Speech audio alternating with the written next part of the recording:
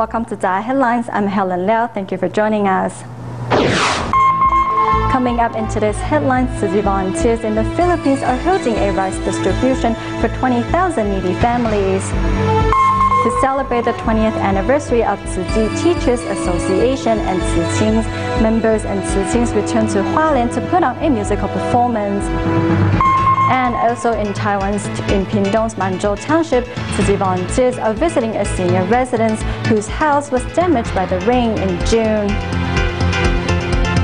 We start today's show in the Philippines where Tzu volunteers are carrying out a rice distribution in the Rizal province. The 20 kilo bag of rice will help 20,000 needy families through their times of need. And to reciprocate Tzu love, the governor promised to invite residents to join Tzu recycling program.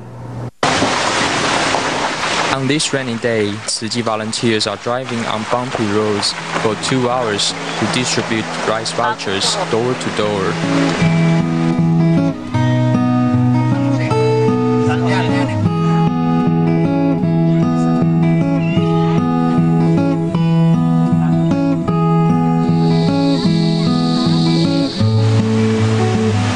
In Sitio Kaisaka, Philippines, the 75-year-old district head also needs a rice voucher. He usually stays at the office instead of going home, as he has no money to repair his house.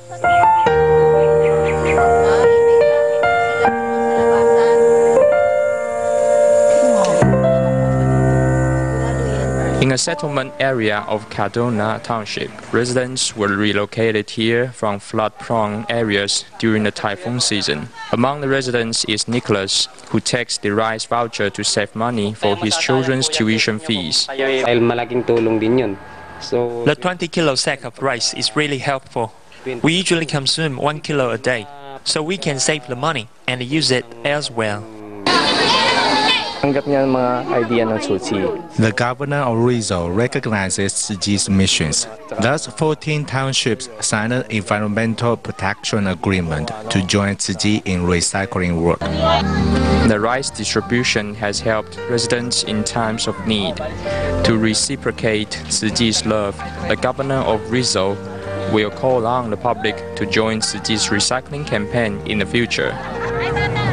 To celebrate the 20th anniversary of the Chi Collegiate Youth Association, also known as Ching's, in Taiwan, Hualien Ching started a worldwide recycling day. We have previously brought you the events from Japan, England, and the United States. Now we join the event held in Indonesia, where Tzu Chings from different cities took to the streets to clean up and promote recycling. Drawing and coloring trees on cardboard. And wearing them as a sandwich board, Jakarta Tzu Chings are doing a street-wide cleanup. Di Indonesia sih sebenarnya kita ada di beberapa titik ada. In Indonesia, we have seven chapters of Tzu Chings participating in the Marathon Recycling Day. Our Jakarta Tzu Ching started early in the morning from Tingkaranjai village. Besides spreading conservation ideals to residents, we are also sweeping the streets. Besides the street-wide cleanup, Tzu Chings are knocking on every door to inform Jakarta residents what's the best way to practice recycling in their homes.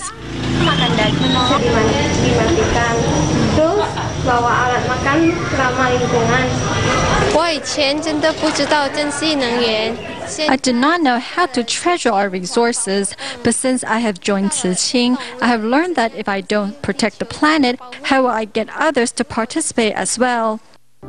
Not only are Jakarta Tzu Chings participating in this marathon of recycling, but Tzu Chings from Tangerang, Singkawang, and Batam are also participating in the worldwide event.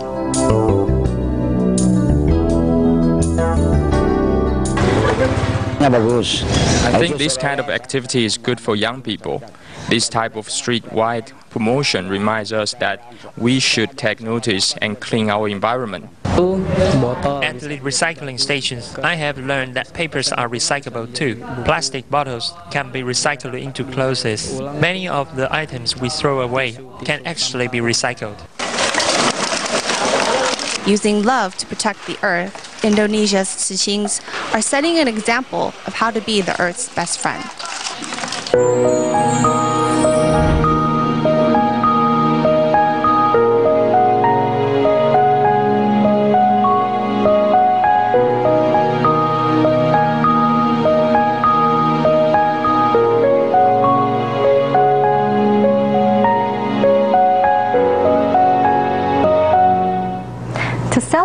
20th anniversary of Chi Teachers Association and Tzu Ching's, teachers and students from eight different countries took to the stage to perform the Water Repentance Sutra.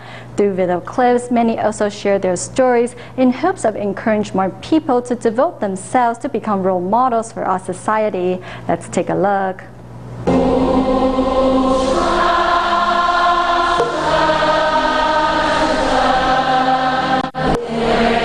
To mark the celebration of the 20th anniversary of Tzu Chi Teachers Association and Tsuchings, many teachers and students took to the stage to perform the musical adaptation of the Water Repentance Sutra. 你现在去药房，帮妈妈买毒老鼠的药给我，哈。好，那我去哦。快去。When he was younger, Liang was sent by his schizophrenic mother to purchase rat poison that later led to her death. With his father blaming him for the accident, he decided to give up on life. Luckily, he met his teacher Zhang Jingkun, and his life was completely turned around. I see the changes in him from being a rebellious youth to a drill master. I feel very proud of him. It is better than winning any teaching award from the Ministry of Education. Liang Mingyi, who is the drill master, passes on the love he received from his teacher and guides rebellious youth back on the right track. During the event, Tzu Ching alumnus also took to the stage to encourage the Tzu Chings to carry on the work. Don't worry about the responsibility that you carry. All of you should have the courage to carry them and move on. Other than managing her busy student life, Zhen Yuzhuan, who is a Tzu Ching, also volunteers to take care of her two cerebral palsy schoolmates. She cares for them just like their mothers. Throughout our journey in life, there will be times of struggle, and Yu Zhuan is my best friend through this journey. It's been so good to have you as a friend.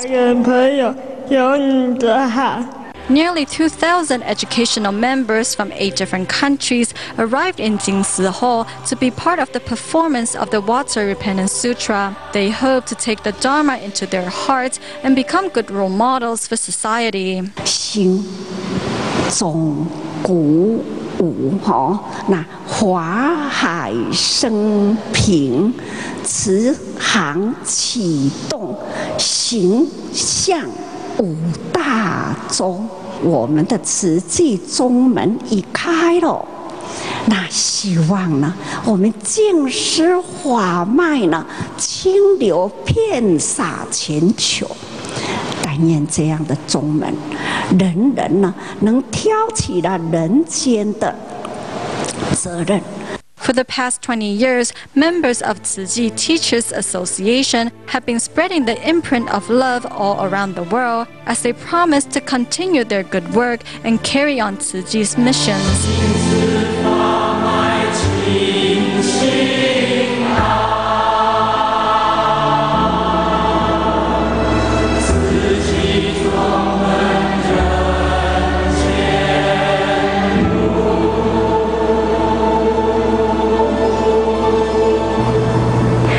Swimi Liang Mingyi, an instructor at his school who lost his mother to an overdose at 10, Liang and his older brother not only started smoking but also involved themselves in gang fights. Luckily, Liang met his middle school teacher Zhang Jingkun and came to a turning point in life.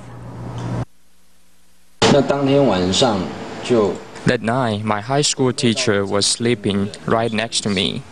In 2010, Liang Mingyi was reunited with his middle school teacher Zhang Jingkun at one of Tzu Chi seminars. The meeting brought back memories from some 30 years ago. The way my teacher taught us really inspired me. I think that the power of goodness inspired me to willingly make a decision, the decision to walk the path that I want to walk. Liang came from a broken family. His mother died young of an overdose, his father was an alcoholic, and his siblings became drug addicts as well. My elder brother made the wrong choice in life. Back home, he would be sniffing super glue. In that environment, we were all influenced, so when we went to school, we became really violent towards our classmates. Thanks to his teacher from junior high school, Liang was inspired to enroll in a military academy and eventually got married and had his own family. However, his brother was not so lucky. In the year of 2000, Typhoon Xangsane devastated Taiwan, and Tzu volunteers were immediately mobilized to carry out relief work. Moved by the devotion of these caregivers, Liang decided to join Chi and in the process found his spiritual harbor. Some sisters suggested that I inspired my brother through Buddhism. While he was serving his term, he read a lot of Buddhist sutras and the Jing Si aphorisms. After he was released, he was more determined to change. So far, he has worked and received four months' worth of pay.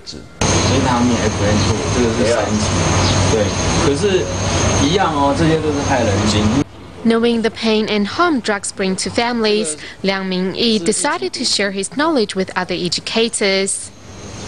We gather all the teachers and pass on to them the right information about drugs. We also give each class the video clip of the life story of Huang Ruifang so that they may play it for the student and give a small talk after the video.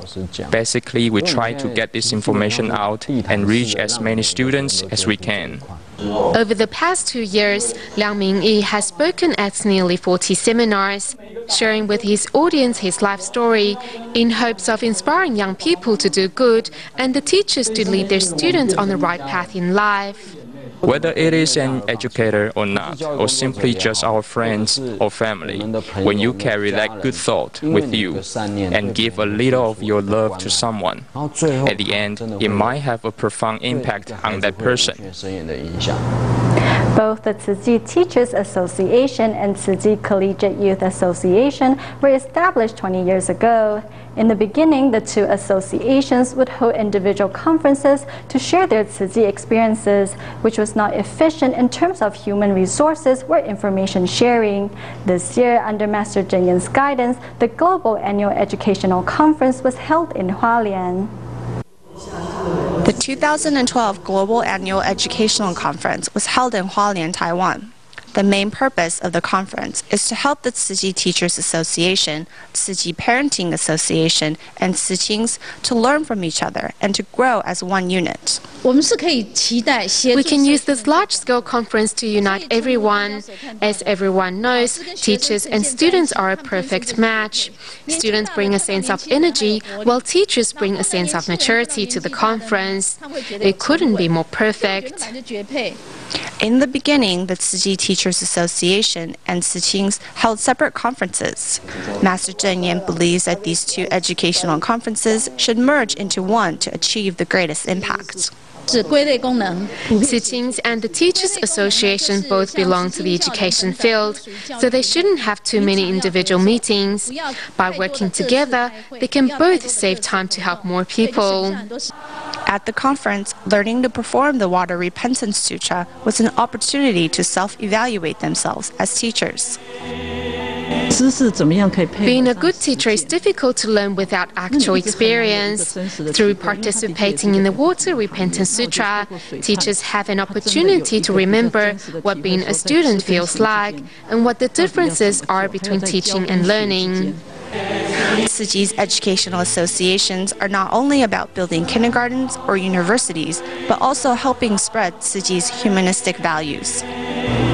The Tzu Teachers Association was founded in 1992 to promote the wisdom of Master Cheng Yen in schools. Over the past 20 years, the association has grown to 3,500 members with branches in different countries. Thanks to Master Cheng Yen and Jing Si aphorisms, these teachers are able to bring the spirits of Tzu into children's hearts and minds. On today, June 9th, 2012, the Hong Kong branch of the Tzu Chi Teachers Association has been born. The Tzu Chi Teachers Association was founded in Taiwan in 1992. 20 years later, the Hong Kong branch of the association was founded in June, setting another milestone. The Master taught us to love completely and teach to our utmost. We don't do it out of responsibility, it is with love that we teach. 我们怎么说就要怎么做，所有的行为就是孩子的典范。 There are no such thing as an unteachable child. All that is required is to work together to build an environment conducive to education. 次了，这个礼拜才三次。 With this goal in mind, in 1995, the teachers worked to bring Jing Si aphorisms to schools overseas. That same year in September, the association's first overseas branch was born in Malacca, Malaysia.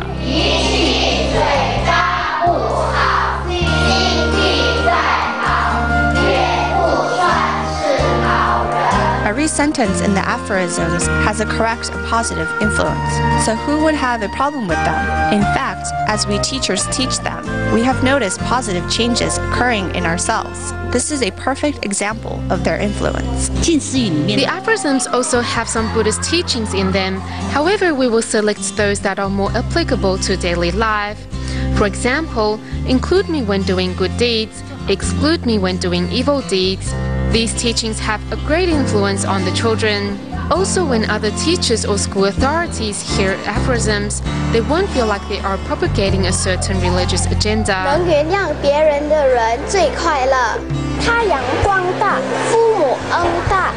Growing up with Jing Si aphorisms, changes can be seen in the children as they learn and grow.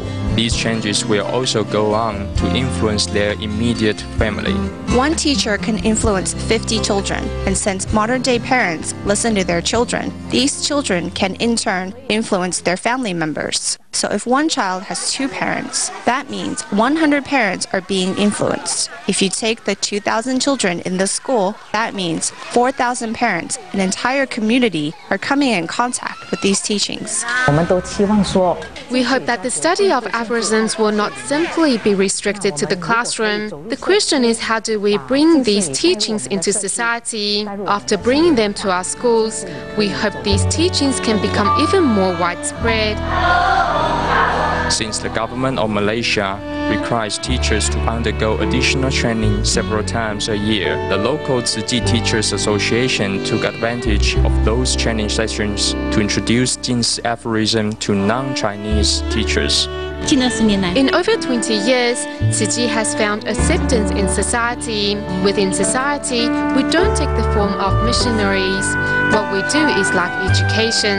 As we find acceptance, people no longer are worried of differences in religion in our workshops. So in our teachers' training, we even have Malay teachers joining us. I hope that this method can bring Jing Si aphorisms into every school and have every teacher using them and promoting them. I believe that this is the ultimate goal. We want to ensure that the teaching of these aphorisms can be found everywhere.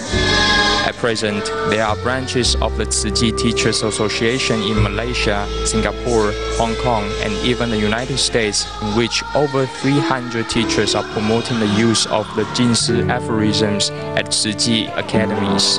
Every summer break, teachers from Tzu Chi Teachers Association will also travel to schools in China for cultural exchange.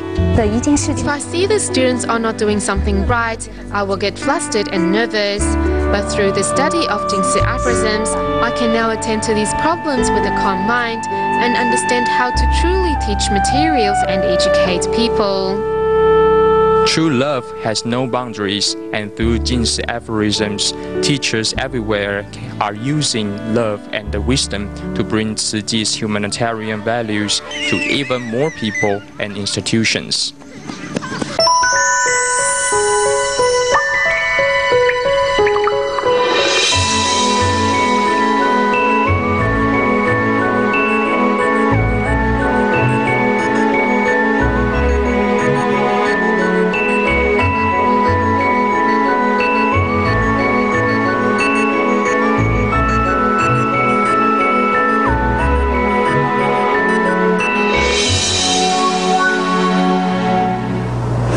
Manzhou Township of Pingtung County, Mr. Zhang's house was severely damaged after heavy rainfall in June. The senior lives with his mentally challenged son, and the two have no means to repair their house when moving to another location.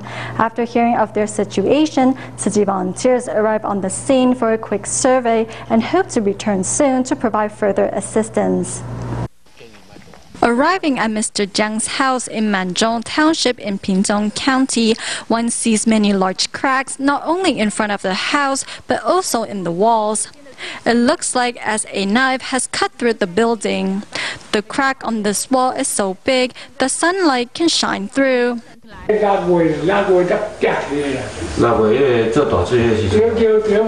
70-year-old Mr. Jiang lives with his mentally challenged son and makes a living by selling fruit.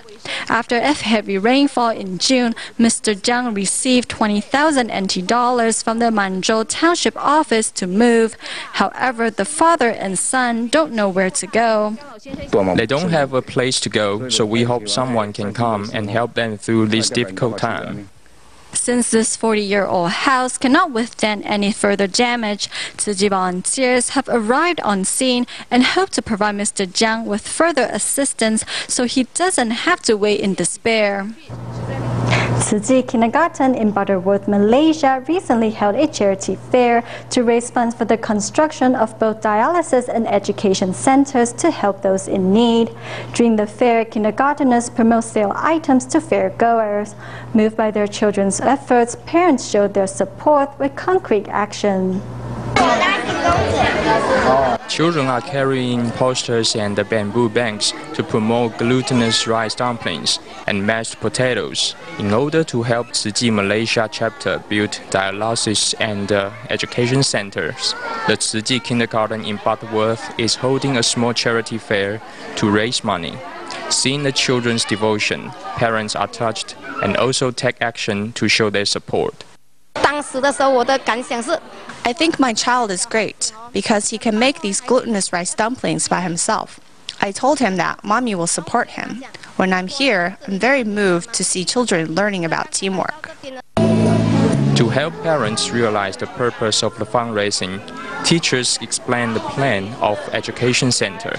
Parents are especially touched when listening to the stories of personnel and dialysis patients from Chi's Dialysis Center in Butterworth.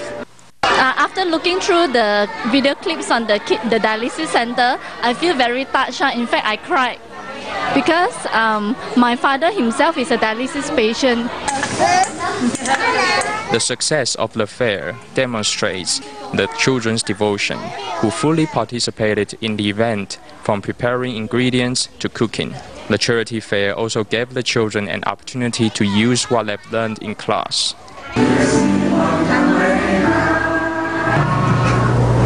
The end of the show, we go to the city of Burnaby in Canada to join Tzu Chi volunteers in a multicultural festival.